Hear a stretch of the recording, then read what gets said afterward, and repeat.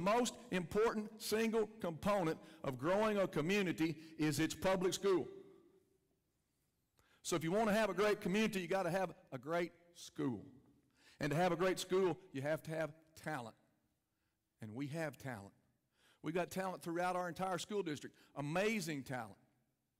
Amazing dedication. Amazing thing going on, going on in our classroom every day. The one thing we don't have is the understanding that we can make it be anything we want.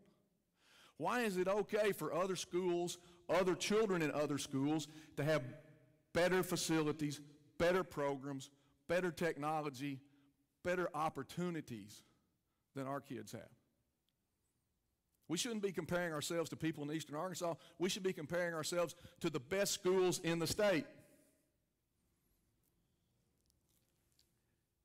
And the reason it's so important is because we have a window. I can't tell you what will happen when we pass this tax. I can tell you what will be done with the money.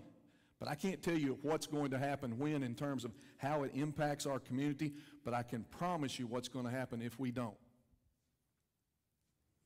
If we don't make this investment, then we're going to look up and continue to be struggling, trying to compete trying to offer what we should for our community against other communities that have many more resources than we have.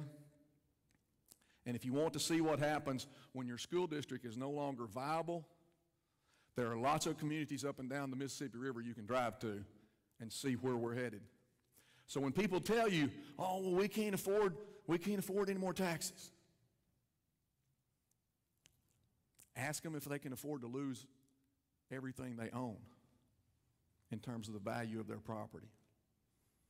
Because the most important component to the value of their property is the success of their public school.